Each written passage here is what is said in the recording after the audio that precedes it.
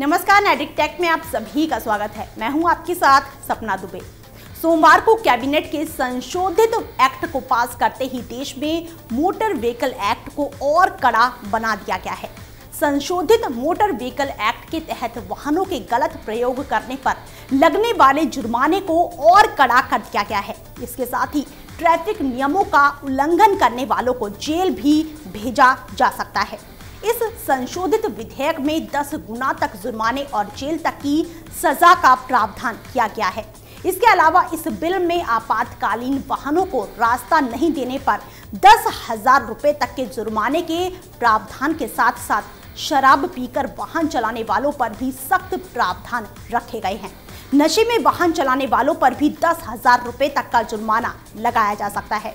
आपको बता दें कि इससे पहले ये बिल राज्यसभा में लंबित था और सोलहवीं लोकसभा के कार्यकाल के समाप्त होते ही ये निरस्त हो गया था।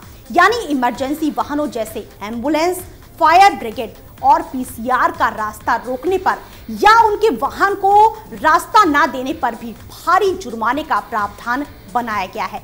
ऐसा करने पर सरकार द्वारा दस हज़ार रुपए तक का जुर्माना ठोका जा सकता है।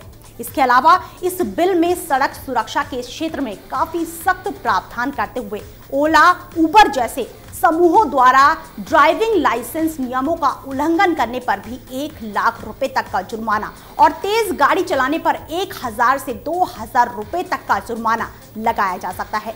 अक्सर देखा गया है कि सड़क पर कई लोग वाहन चलाते हुए सीट बेल्ट का प्रयोग भी नहीं करते हैं। तो ऐसे में लोगों के लिए भी इस बिल में सख्त प्रावधान रखा गया है। आपको पता हो कि बिना बीमा पॉलिसी के व्हीकल चलाने पर दो हज़ार रुपए तक का जुर्माना रखे जाने के साथ साथ इस बिल में बिना सीट बेल्ट लगाए या बिना हेलमेट पहने वाहन चलाने पर एक हज़ार रुपए का जुर्माना और तीन माह के लिए लाइसेंस निलंबित किया जाना शामिल है। इस नए बिल में अधिकारियों के आदेश का पालन नहीं करने पर पाँच सौ रुपए के स्थान पर अब दो हज़ार रुपए का जुर्माना देना भी शामिल है। इसके साथ ही माइनर की गाड़ी चलाते हुए सड़क पर कोई अपराध होने की स्थिति में गाड़ी के मालिक को दोषी ठहराया जाएगा और तीन साल की सजा के साथ पच्चीस हज़ार रुपए तक का जुर्माना लगाया जाएगा। यानी नए बिल में सड़क सुरक्षा को लेकर सरकार ने कड़ा रुख अपना लिया है।